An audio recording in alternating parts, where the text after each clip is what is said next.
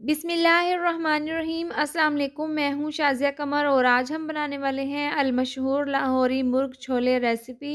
और इसको बनाना बहुत ही ज़्यादा आसान है और आप इसको गर्मा गर्म नान के साथ खाएँ।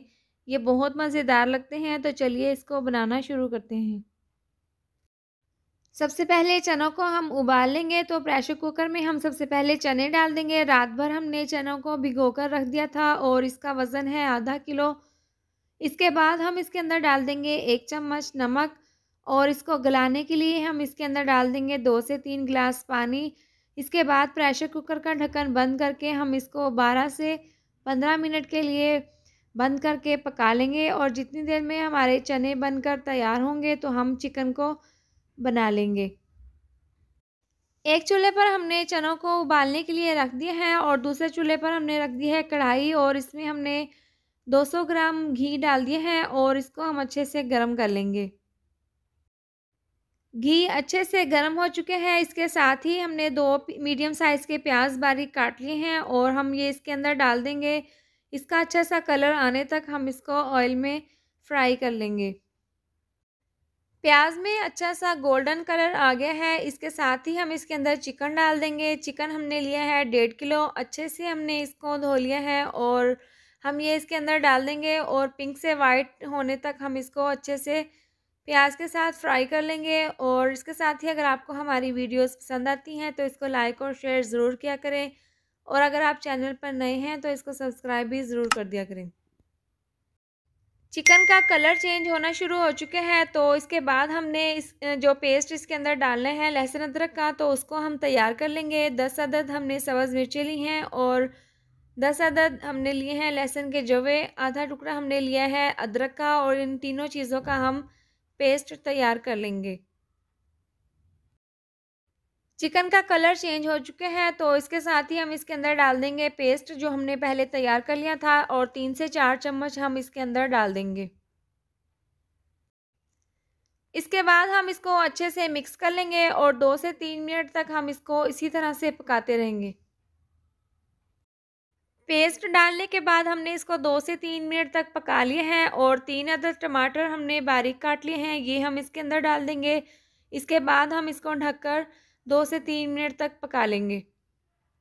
टमाटर डालने के बाद चिकन को हमने दो से तीन मिनट तक पका लिया है और टमाटर काफ़ी हद तक सॉफ्ट हो चुके हैं। इसके बाद हम इसको अच्छे से मिक्स कर लेंगे। इसके बाद हम इसके अंदर मसाला जार डाल देंगे तो एक चम्मच हम इसके अंदर डाल देंगे कुटी हुई लाल मिर्च, एक चम्मच पिसी हुई लाल मिर्च,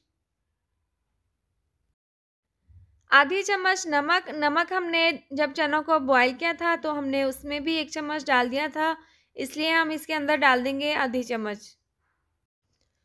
दो चम्मच धनिया पाउडर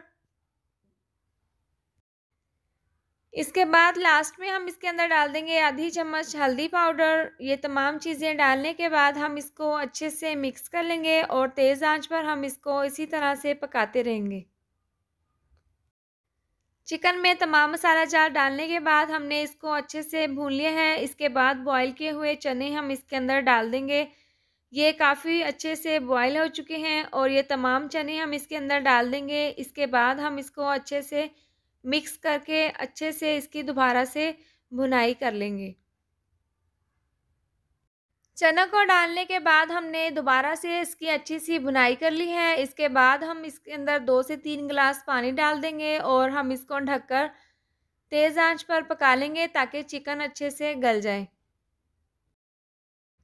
पानी डालने के बाद हमने इसको अच्छे से पाँच मिनट के लिए पका लिया है और चिकन अच्छे से गल चुके हैं। लाहौरी मुर्ग छोले बनकर तैयार हैं। बहुत ही ज़बरदस्त इसकी खुशबू आ रही है। गरम मसाला पिसा हुआ हम इसके ऊपर छिड़क देंगे।